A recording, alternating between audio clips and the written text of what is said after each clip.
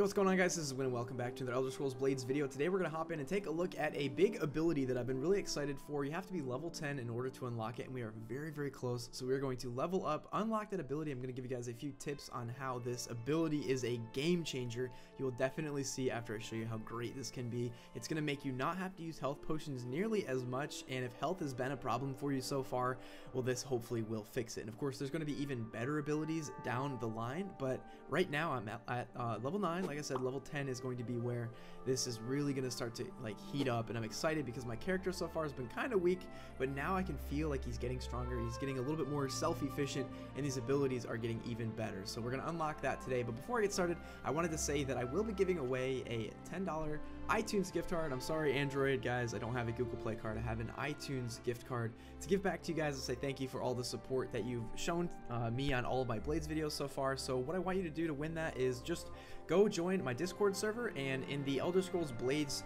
new chat channel we have, just share a screenshot of your character, you know, show everybody where your uh, character is at, what level you are, what gear you have, whatever you want to share, go share in that channel and sometime this weekend I will pick a winner. So if you want to win that $10, go on uh, go on in and join our Discord server that we have. So um, anyway, let's get into the video now. So like I said, we're level 9. We got to do a few quests. We're really close to level 10. I didn't want to start the video at level 10. I'd rather just like get there kind of naturally, but let's just do like a random mission. Chest capacity nearly reached. Let's go anyway. I think if we do this one quest, we should get there. And basically this... Um, ability I want to show you guys. I can't quite remember the name of it, but I think it's like adrenaline dodge or something like that. And it lets you jump out of the way for an attack and you're essentially going to gain a little bit of health every time. But there's one way that I know you can use it that's like extra effective, and that's what I'm going to show you guys in the video today. So let's crush some of these skeletons real quick with some combos. Damn, I'm missing everything right now.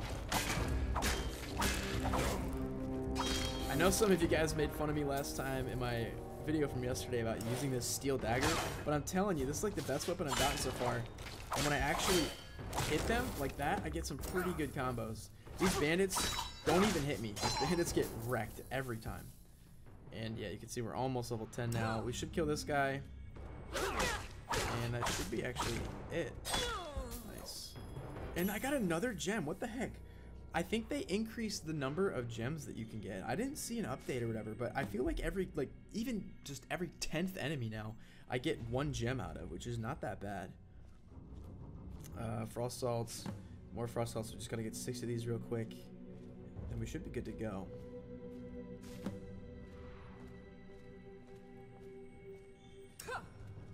Oh, shoot. Nice. See, I love how they just they don't even get a hit. Level up. Perfect. There we go. And I do believe this ability does take two skill points. You're going to want to make sure that you uh, save one of your skill points from one of your previous levels. Although, wait a minute. Now that I'm thinking about it, when you hit level 10, it might give you two skill points because it's like a milestone level. So that might that might be good. If you actually get two at level 10, then you're, you know, you'll automatically have enough anyway. But for some of those higher abilities, like, I'm already saving some of my points. I'm not spending my points as soon as I get them, for obvious reasons. Another gem! That's what I'm talking about, guys. It's crazy. I'm pretty sure they increased the number of gems that you can get. Uh, so actually, you might be able to grind a, a, lot. Like, if you seriously play this game a ton, well, uh, you know, I should probably pick up the gem, but if you played this game a lot, you might be able to get even like a thousand gems if you were trying to go for like Bloodthirst or something in the shop without having to spend any, you know, real money. Let's grab this last bit of salt, wherever that happens to be. Oh, wait, hold up. We got a chest over here. Want to say it's like somewhere around here. Yes. Alright, let's complete this quest now. Go back into the main screen. Silver chest. Oh no. What am I gonna do? I just lost a silver chest. I don't know when I'm next gonna get it. I don't know when I'm gonna get my next silver uh, silver chest. Alright, there we go. Level 10. Yeah, you do get two skill points. I, I thought about that. I was like, I think you actually do get two, and I'm glad that's true. So we got two extra skill points. We got Wait, 10 petty soul gems. That's nice. Perfect. That's going to be really important when we get into a little bit more enchanting here. Now, here's the moment that I've been waiting for to show you guys. Adrenaline Dodge is freaking OP. This dodging strike evades up to 76 damage and restores up to 97 health. The closer the fighter is to getting hit, the greater the healing. So like if you can pull it off right at the last second, then you're going to actually generate more health too. So let's unlock that. Let's equip it too. And I mean, in general combat, it's going to be a good ability anyway. But I want to go into the Abyss, and we're actually going to start way back at level 1 so I can kind of like walk you guys through what I think is going to be really important. Now, if you know those annoying uh, monsters and animals that like they're the ones that jump at you over and over again, like the wolves or the skeevers or the spiders. Those ones, even though they are annoying, now with adrenaline dodge, they're gonna be your literally your best friend. When you see those, you're gonna be like, yes, free health. All right, let's fight this guy. Let's just, oh, never mind. I was gonna say, let's use it once just to see what it looks like. Let's hit him once. Wait for him to attack, wait for him to attack. Nice. That's fine. Let's uh, just get through the first couple floors until we reach a floor that is like all skeevers or something. And then I'll show you guys exactly what I'm talking about. And especially when there's a floor that's got like six or seven of them, you can basically use them to regenerate all of your health. As long as you just adrenaline dodge over and over again. Uh, because when you block them, they're not going to hurt you. Or they're not going to hurt you nearly as much as the health you you're going to regain anyway from the dodge.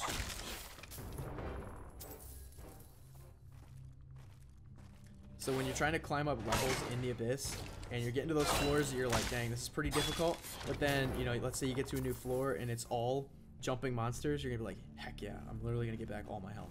That's the one part about the Abyss I think that kind of sucks. Unlike regular dungeons, there's no, there's no like cheese laying around or like mushrooms you can eat. You gotta go completely on your own, and the only health you're gonna regenerate is what you do in battle. So that's why adrenaline dodge is gonna be so freaking important. Now we're getting to floor three. Things are gonna start to get a bit spicy. If these are skeevers, then yeah. Okay, so this is what I'm gonna do. I'm gonna let the skeevers just like hit me a lot. That's fine. I'm gonna like drain my health down just a bit. And then I'm gonna use this floor to regenerate as much health possible um, by just adrenaline dodging every single one of these skeevers. Actually, having three of them attacking at once might be a bit too much. We were almost down to like half health. That's fine. Let's keep letting them hit me just a bit more. Alright, that's good. I think we can now... We'll block these guys. Attack. Boom. Regenerate a bunch of health. I think three three at once is going to be a little too much. Let's go two, two for one. Nice. Got back a bit of health there. Now watch. We can literally just, like, chill on this guy. Not really hurting me at all.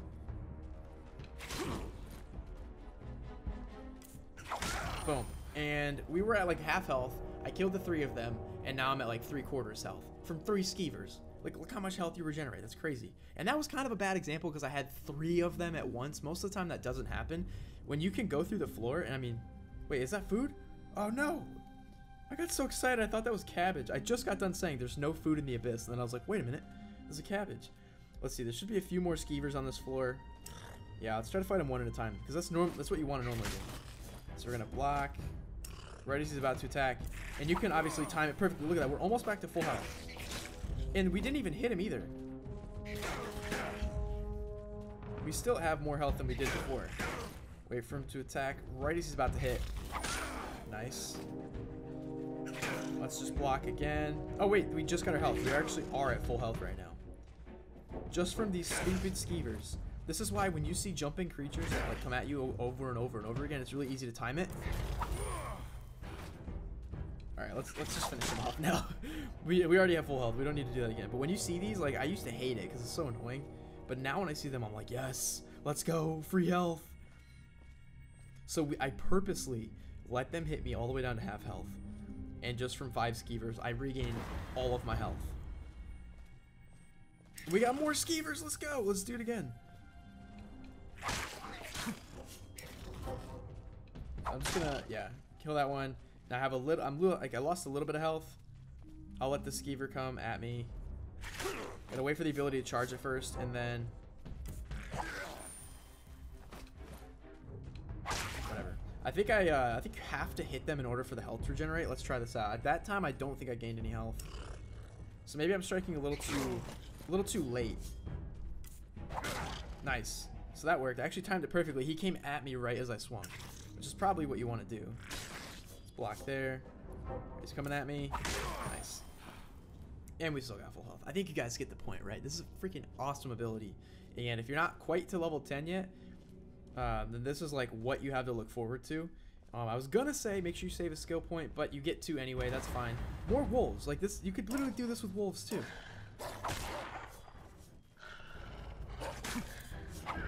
Oh, a little too late that time. These guys hit for a little bit more.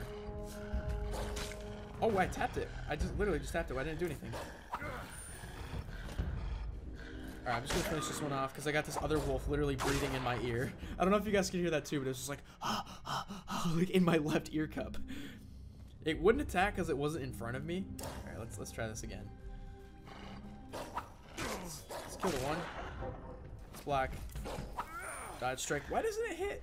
I'm not sure why it won't hit. I guess I gotta tap it sooner. Definitely way sooner, like when it's coming at me. Wait for it, wait for it, wait for it. Nice. Let's block that one. Let's block it again. Alright, we got the ability back in just a second.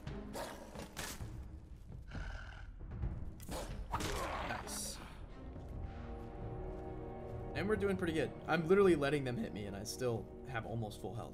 So if you guys are low on health, you see some skeevers, you're trying to push in the abyss as far as you can possibly go, just use that ability a couple times. Let it recharge, even if you block. The skeevers don't do enough damage to you. So let's say like you regain 40 health. You let it hit you for like 5, 5, 5, regain 40, and you just do that over and over again, and you're always going to come out of the battle with more health than when you started. So I don't think I have to go any further. I think, you know, it's pretty obvious. This is a really strong ability. Uh, the next one that I'm going to probably showcase that I'm really excited about I can bring that up here real quick. Another one of the abilities is the Recovery Strike. This is at level 23, or 25, sorry, and it requires five skill points. So this is one where you're to have to save a few skill points. Even if you get two, you're to need three more, obviously, to unlock this. And these quick strikes can be performed at any time, except when paralyzed, they each deal 28 extra damage. Uh, no extra damage for two-handed abilities. Did I click on the wrong one?